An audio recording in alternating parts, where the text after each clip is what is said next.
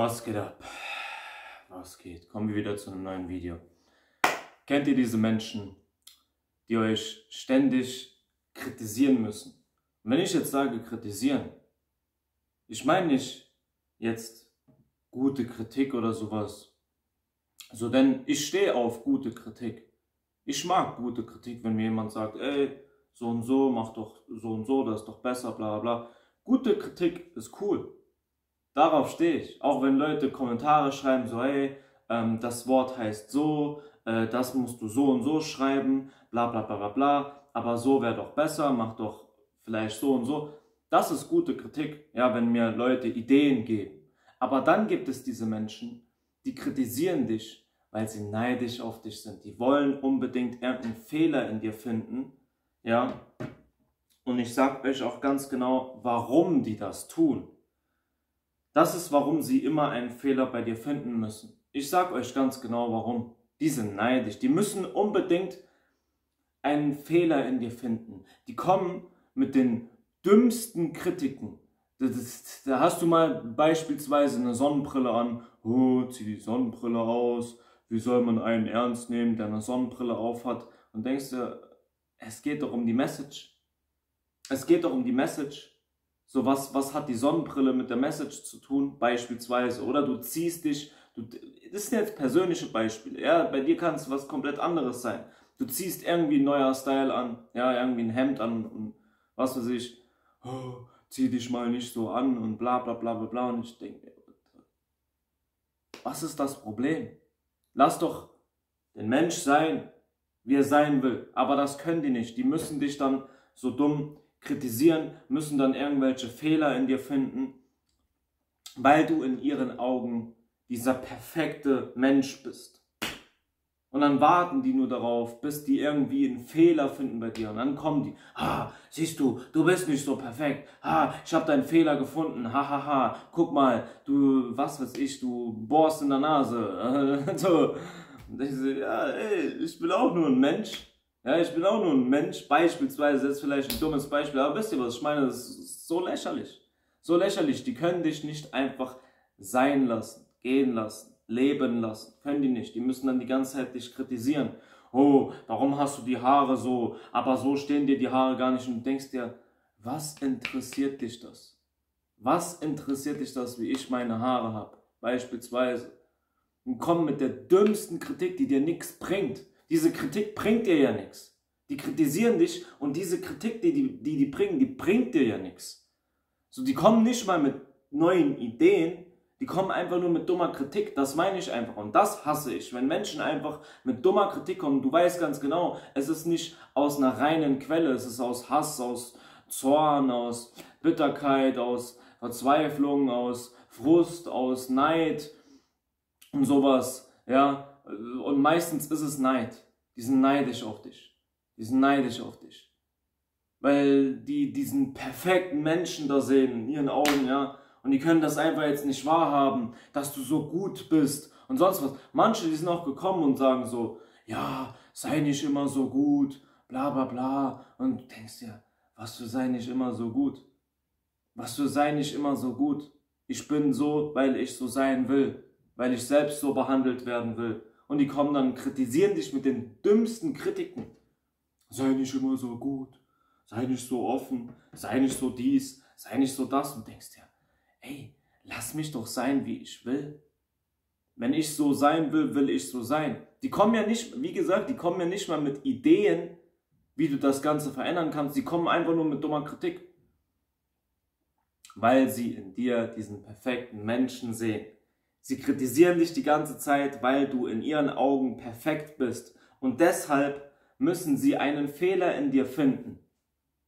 Dann beispielsweise, ziehst mal eine Sonnenbrille an. Oh, siehst du, äh, du bist ein Lügner, dich kann man nicht ernst nehmen, weil du verdeckst deine Augen und bla bla bla und denkst dir, hey, vielleicht scheint die Sonne, vielleicht wurde ich geblendet, vielleicht will ich einfach gerade nicht meine Augen zeigen und sonst irgendwas, ganz normal. Jeden Tag, ich mache hier den Show-Up und zeige hier meine Fresse und alles. Und irgendwann hast du einfach keinen Bock, immer deine, dein Gesicht so zu zeigen und sonst irgendwas, willst einfach mal Style changen und sonst was. Und dann kommen die Hater und schreiben irgendwelche dummen Kommentare. Warten nur darauf.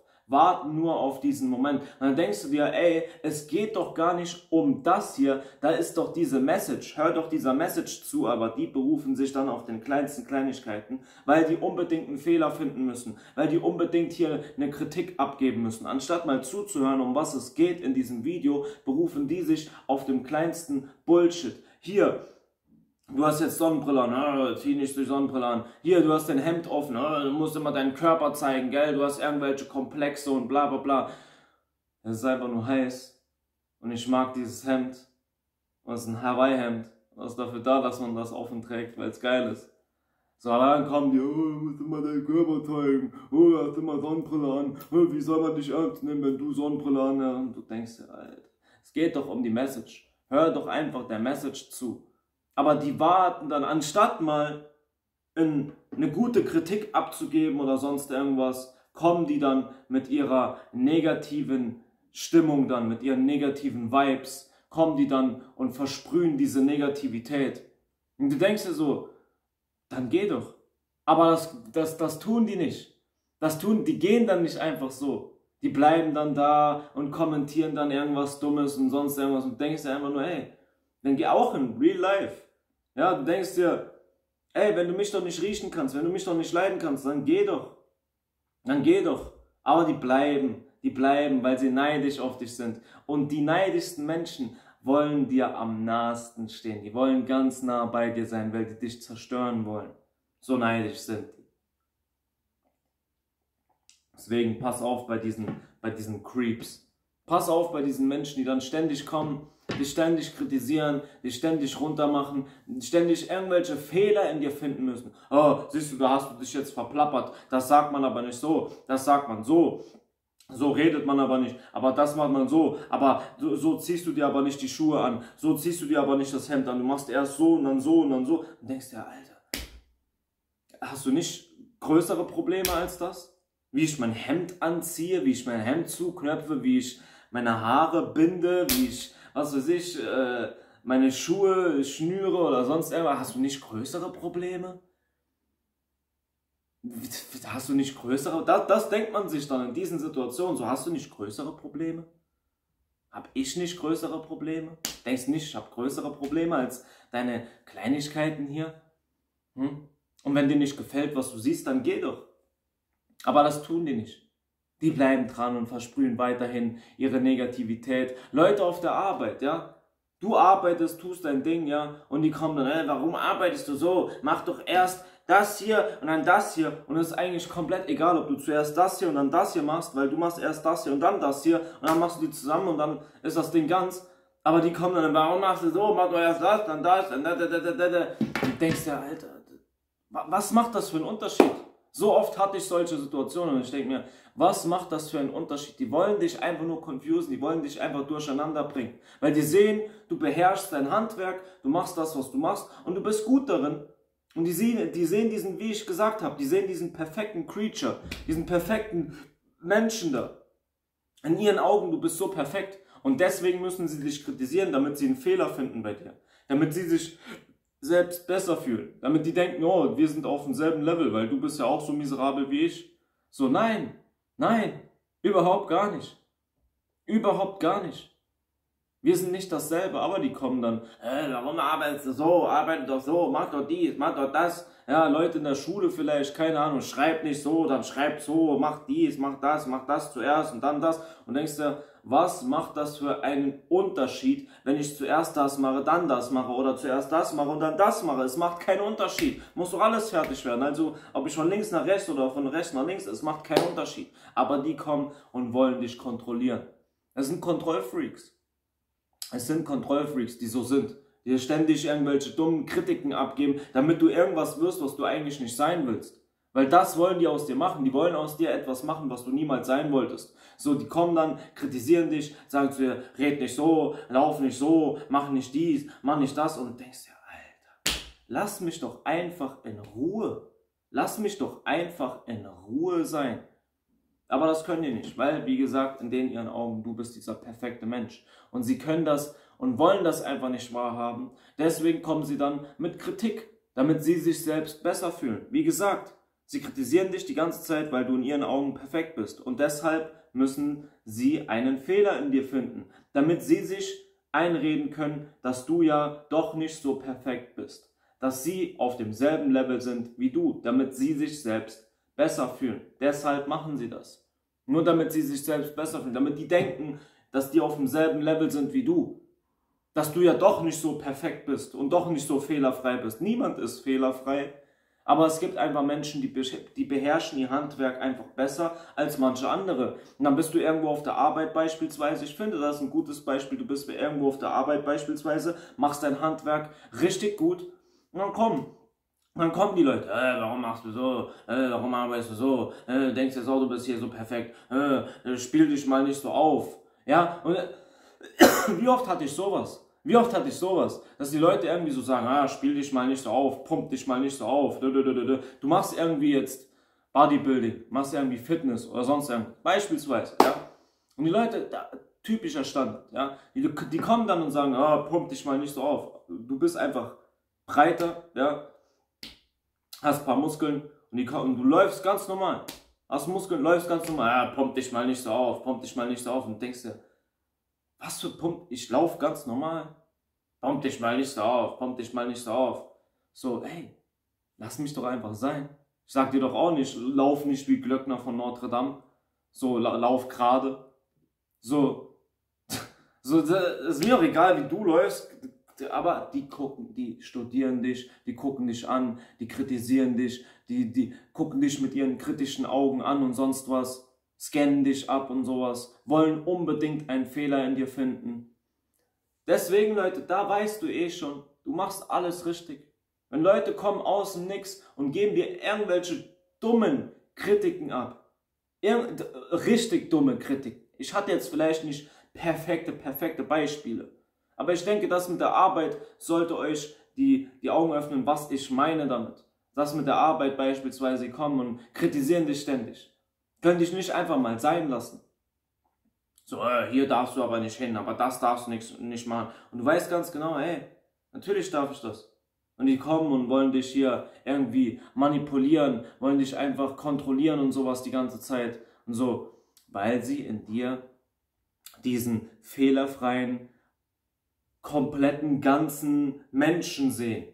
Ja, so, manche kommen sogar und sagen, wie kannst du nur so gut sein? Wie kannst du nur so, so, so ruhig sein? Und du weißt ganz genau, die sind neidisch auf dich. Oh, wie, äh, gell, du bist auch immer so ruhig. Gell, du, gell, du, du hast dich auch immer unter Kontrolle. Und denkst dir, I try. Ich versuche mein Bett. So, so Kritiken hatte ich auch schon. Solche Aussagen hatte ich auch schon sehr oft. Oh, du bist aber auch immer ruhig, gell? Du bist aber auch immer hier in Selbstkontrolle, gell? Du machst ja auch, wie als hättest du dich so komplett selbst unter Kontrolle und denkst, ich mach nicht so, ich bin so. Ich habe mich selbst unter Kontrolle, ja. Und die kommen, sind neidisch. Ja, aber niemand kann sich 24-7 selbst unter Kontrolle haben. Natürlich nicht. Natürlich nicht. Ja, siehst du, siehst du, du bist doch nicht so perfekt. So, du denkst, wer hat jemals gesagt, dass ich perfekt bin? Wer hat jemals gesagt, dass ich perfekt bin? Ich habe niemals gesagt, dass ich perfekt bin. Aber die stellen diese Behauptungen, weil du in ihren Augen, es dreht sich nur um die, du bist in ihren Augen perfekt. Du läufst nicht darum und sagst, ich bin perfekt, ich bin fehlerfrei. Nein, aber deine Art und Weise ist es, die dich so fehlerfrei und perfekt aussehen lässt, weil du dich selbst unter Kontrolle hast. Du kennst dich selbst, du liebst dich selbst, hast deinen Selbstwert, hast deine Werte, deine Träume, deine Ziele, deine Standards, beherrschst dein Handwerk. Und dann kommen diese Kritiken. Weil die Leute neidisch sind auf solche Leute, die sich selbst beherrschen können, die wissen, wer sie sind, die Selbstliebe haben, Selbstachtung haben, Standards haben, Träume und Ziele haben, wissen, wohin sie gehen. Dann kommst du irgendwo hin, neu auf, der, auf die Arbeit, machst dein Ding, bist ruhig, ziehst, ziehst deine Arbeit durch, kommst rein, gehst raus, kommst rein, gehst raus, machst dein Ding und dann kommen diese Menschen. Aber da darfst du nicht reingehen, aber und da geht jeder rein. Durch diese Tür geht jeder rein und die Leute kommen zu dir und sagen dir, dass du da nicht rein darfst. Wie oft hattest du sowas? Da ist irgendwie eine, eine Eingangstür und jeder Idiot geht durch diese Tür. Und dann kommt irgendeiner, weil er neidisch auf dich ist und sagt, du darfst aber nicht da durch. Und ich sehe, was? Nur damit die dir das Gefühl geben können, dass du nicht dazugehörst, dass du nicht so cool bist wie die, weil die neidisch auf dich sind. So, du, jeder öffnet so das Fenster auf der Arbeit und sowas. Und dann kommt irgendeiner zu dir und sagt, du darfst aber nicht das Fenster öffnen. Das hier ist Vorschrift und äh, Brandschutz und was weiß ich für ein Bullshit, ja. Die kommen dann, aber du darfst das nicht. Und jeder vorher, du hast gesehen, jeder andere hat es getan. Sogar der Typ, der zu dir kommt. Du kommst vielleicht sogar noch zu dem und sagst, ey, das hast du doch getan auch. Ja, aber du darfst das nicht. Und denkst dir, what? Nur weil die neidisch sind. Ich hatte das so oft, letzte Arbeit, also letzte richtige Arbeitsstelle, wo ich war, da war so jemand, der ist auch irgendwie zu spät gekommen immer, so, oder oftmals ist er zu spät gekommen, äh, hat, hat seine, ich will jetzt gerade was sagen, aber ich darf es nicht sagen, hat immer gefaulenzt, sagen wir es einfach so. Er hat viel gefaulenzt, ist viel darum gelaufen, hat sich viel beschwert und sonst irgendwas. Und manchmal bin ich dann ein bisschen zu spät gekommen, ja, und ähm, habe einfach mein, mein, mein Ding dann direkt gemacht und sowas, aber die haben mich halt unbedingt gebraucht auf dieser Arbeitsstelle, so weil die unbedingt so einen Arbeitnehmer gebraucht haben für diese Stelle da, wo ich gemacht habe und so. Und er hat sich immer über mich beschwert. Immer über die kleinsten Kleinigkeiten. Ja, findest du das, ist dann zum Schichtleiter gegangen, ja, findest du das richtig, dass der hier das so macht? Und wir sind hier nicht im, wie hat er gesagt, so irgendwie, da, da, dass jeder machen kann, was er will. Wir sind ja nicht hier im Zirkus oder so, was weiß ich, was der für ein Bullshit von sich gegeben hat. War einfach neidisch auf mich. War einfach neidisch auf mich. So, ja, äh, hat selbst, hat selbst das gemacht, was ich gemacht habe. Ja, hat sich dann selbst darüber beschwert, dass ich das mache. So, so sind diese Menschen. Die hassen sich selbst, deswegen nimm's nicht ernst. Nimm's nicht ernst, ihre komischen Kritiken. So, die geben dir Kritik und du weißt ganz genau, ey, du machst doch genau dasselbe. Du machst doch genau dasselbe, du Heuchler. Du machst genau dasselbe wie ich. So, oh, das darfst du nicht. Und denkst dir, dann dürftest du es aber auch nicht. Soll ich dich mal filmen, wie du das auch machst? Das müsstest du mal machen, du sollst sie mal filmen. Dann würden die selbst sogar noch sagen, ja, ja, aber das ist, weil ich bin hier länger und... Komm, ist gut. Ist gut, ja, ja, komm, komm, hast recht, kleiner, kleiner Decepticon. Hast recht, komm, komm, komm, ist gut, kleiner Bot. Komm, ist, ist gut, du NPC. Komm. Hate me, hate me, hate me, hate me. Komm. I love me, you can hate me, I love myself. so, so musst du sein, ganz ehrlich. Lieb dich selbst. Wenn die kommen mit diesen dummen Kritiken und sonst irgendwas und das bringt dich ja nicht weiter. Ich meine jetzt Kritik, wie gesagt, die dich überhaupt nicht weiterbringt. Da weißt du ganz genau, diese Menschen sind neidisch auf dich. Und alles, was ich vorgelesen habe, ist wahr. Die machen das, weil sie in dir diesen perfekten Menschen sehen und die können es einfach nicht wahrhaben. So, ich hatte sogar andere Dinge, ja, war so, so eine Dame, sag ich jetzt mal. da habe ich auch gemerkt, so die, die konnte es nicht fassen, dass beispielsweise meine Haut so rein ist. Da ist die auch gekommen. Oh, du hast aber auch Muttermähle. Und ich denke mir, ja, ist normal. Ich habe Muttermähle. Oh ja, ich habe gedacht, du hättest hier so eine reine Haut, aber ich sehe, du hast ja auch viele Muttermähle. Du denkst dir, und jetzt? Weil die denken, dass du perfekt bist, dass du eine perfekte Person bist, das perfekte Haut, einen perfekten Körper oder sonst irgendwas. Und die studieren dich, gucken ganz genau, oh, du hast aber hier auch ein Hohlkreuz, aber du hast hier auch äh, Muttermähle, aber du hast ja auch Pickel und sonst irgendwas. Du denkst dir, was ist das für eine dumme Äußerung?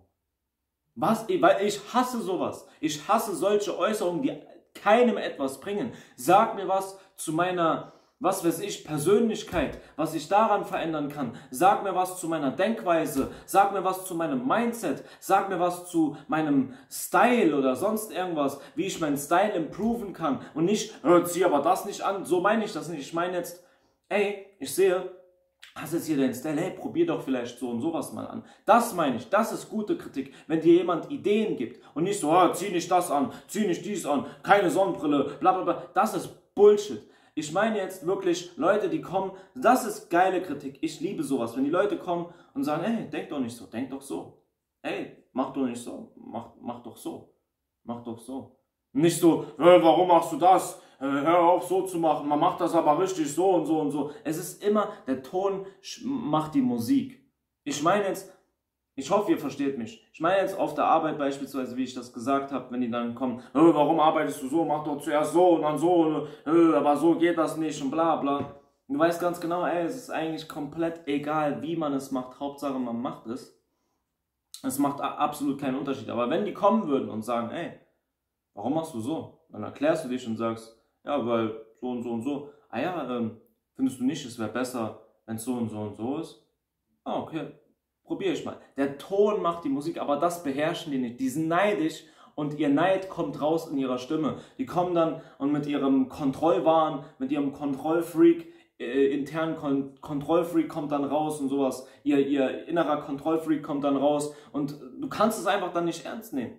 Weil du ganz genau hörst schon, dass es, dass es aus, aus Hass und aus Neid und aus Zorn und Missgunst kommt, diese Aussage.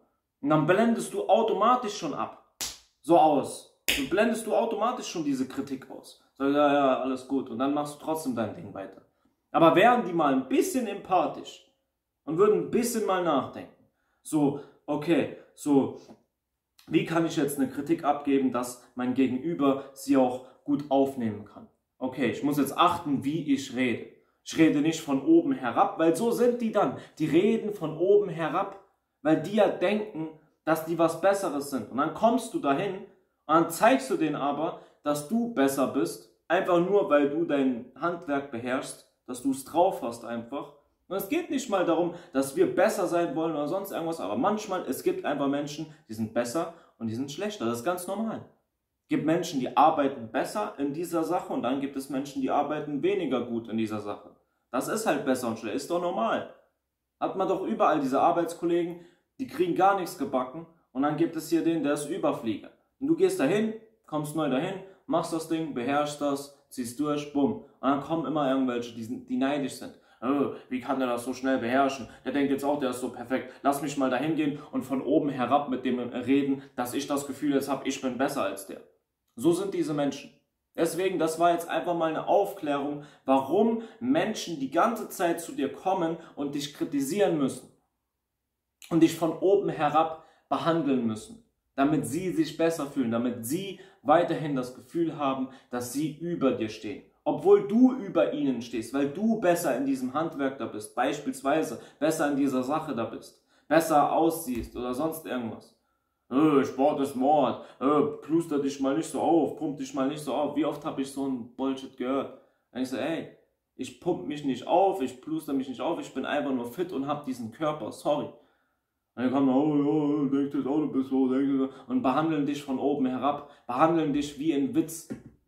Wie als wärst du ein Witz. Sport ist Mord, gell, gell, du hast Muskelkater. So, warum ernährst du dich so? Das ist auch sowas. Ich könnte das Video jetzt stundenlang mal. Die kommen dann, die fressen die ganze Zeit nur irgendeinen Bullshit. Du bist dann in der Pause, isst deine, deine Beeren, dein, dein Obst, dein Gemüse, dein gesundes Essen und sowas und die kommen dann, äh, bist jetzt auch hier auf Öko oder was, äh, warum bist du so gesund, ess doch mal sowas und denkst dir, ey, lass mich doch essen, wie ich will. Lass mich doch essen, wie ich will. Lass mich doch einfach essen, wie ich will. Und dann auf einmal, auf einmal, du bringst mal einen Schokoriegel mit ah, und dann kommen die, das ist perfektes Beispiel. Also hoffentlich versteht ihr das Thema jetzt. Dann kommst du mal mit einem Schokoriegel um die Ecke und isst diesen Snickers oder sonst was. dann kommen die direkt. Die sehen dich jedes Mal, du isst dein gesundes Essen und sonst was. Auf einmal hast mal Cheat Day, ess mal diesen Schokoriegel. Oder hast einfach Bock auf diesen Schokoriegel. Ey, ey. Dann kommst du um die Ecke, gehst auf die Arbeit, isst dein Schokoriegel. Und dann kommen die direkt, oh, oh, Schokoriegel, oh, nicht mehr gesunde Ernährung. Und auf einmal kommen die.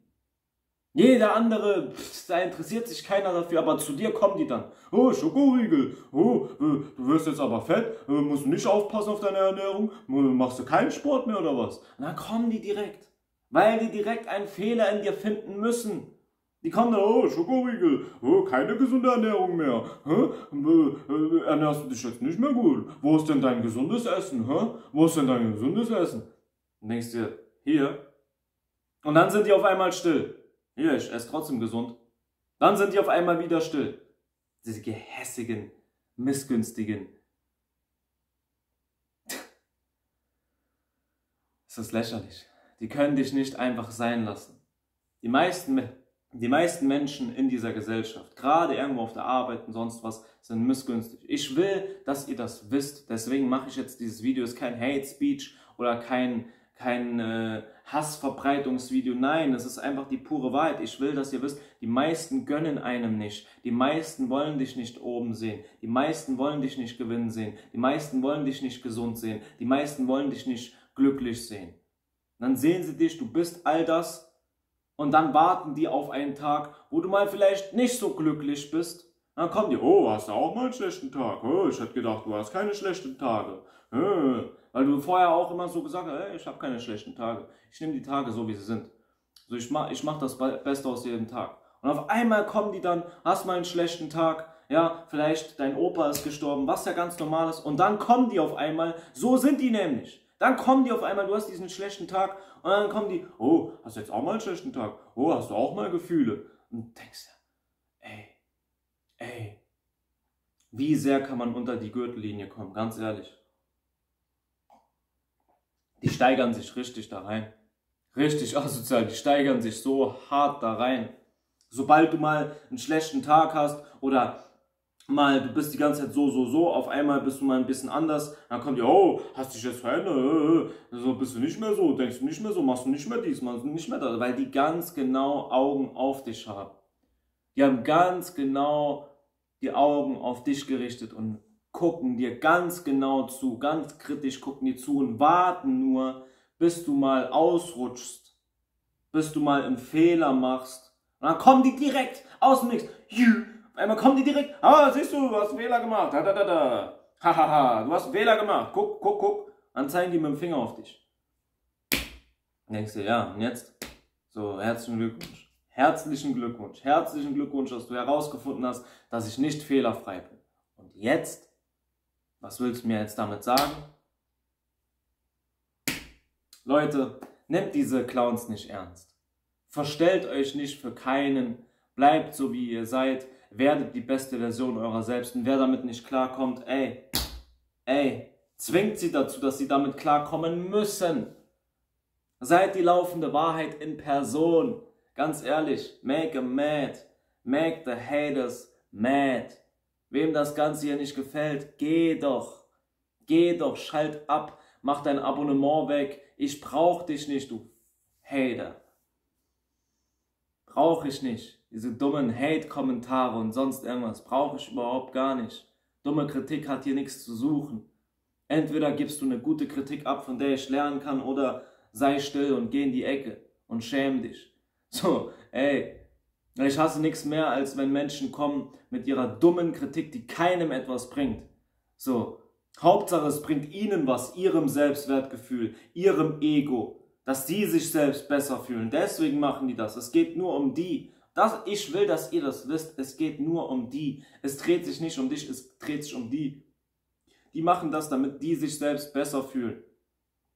Das war die Message jetzt. Ich hoffe, ihr habt das Video genossen.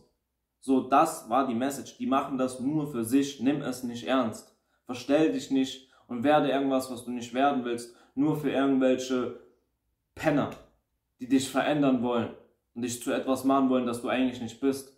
Nein, werde die beste Version deiner selbst. In diesem Sinne, ich wünsche euch nur das Beste. Peace out. Stay blessed.